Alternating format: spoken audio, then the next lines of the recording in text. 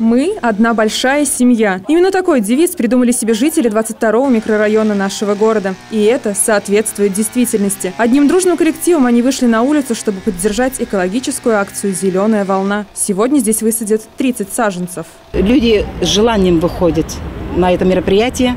Душа радуется, что так, это самое, пришли даже с семьями люди. Вот, очень приятно на это смотреть. Даже погода не подвела и подарила нижнекамцам теплый солнечный день. Это ли не повод выйти в свой родной двор и сделать доброе дело? Вносим сегодня большой вклад в это большое дело. Благоустраиваем наш город, озеленяем его. И дай бог, что эти деревья поднимутся и останется большая память нам и всему городу. К слову, все участники относятся к этой акции очень серьезно и ответственно. Понимают, что это важный вклад в будущее. Все думают, что вот лес он раз и сам по себе растет. А на самом деле надо очень за ним долго ухаживать.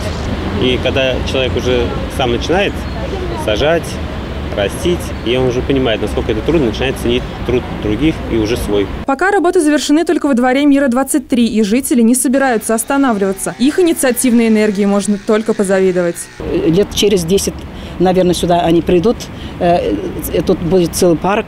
Будем чай пить тут под деревьями. Скамеечки, наверное, здесь будут. Я очень э, надеюсь, конечно, очень надеюсь, что здесь будет все хорошо. Если вы тоже хотите стать добровольцем и посадить свое дерево, которым в будущем сможете гордиться, то у вас есть такая возможность. Зеленые субботники для всех желающих будут проходить каждую неделю. Подробную информацию можно найти на официальном сайте НМР или по телефону, который вы видите на своих экранах. Ирина Аникина, Антон Гребенев, телеканал «Нефтехим».